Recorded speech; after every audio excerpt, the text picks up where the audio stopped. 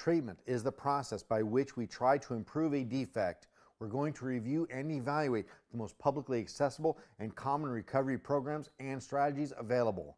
They all vary and often promote differing ideas and philosophies, but the vast majority of recovery centers and programs are similar. To discuss and evaluate them, we will need to lump many of them together. It's simply not possible or reasonable to detail specific facilities. There are far too many. This book is not a promotion of any specific recovery modality, singular philosophy, or mentality. Quite the opposite. Addiction and its recovery are far too personal and unique to each individual to assume any single process or treatment is good just the way it is for everyone. Treatments need to be customized and modified to who we are, what we're doing, and what we've done, and where we're going a general philosophy is not workable, and anyone who suggests that one particular philosophy or program is universally adaptable if done right is revealing how ignorant he or she is about recovery.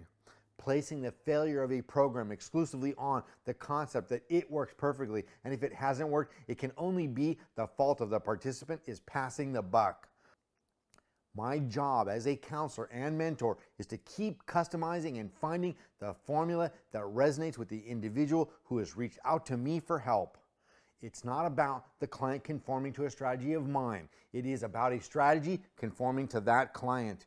It is true that many individuals are not truly committed to recovery, but it is my job as the professional to recognize this and to get them to commit. And that process of persuasion is different for each person I counsel. Yes, there are universal truths and strategies for recovery, but the details and nuances need to be tailored to the individual. In this solution, each major, popular, and commonly abused drug and behavior is specifically addressed regarding recovery strategies and treatments.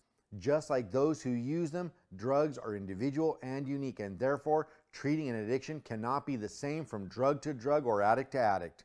This section will review many of the conventional treatment options available, but for specific drug recovery methods, it is best to review the chapter on your or your loved one's drug of choice DOC for more specific options. Bottom line, people use drugs for varying reasons, making the underlying motives for using needing analysis and their treatment to be customized. There is no one size fits all recovery. We'll begin with a review of programs and follow with a brief discussion on medications.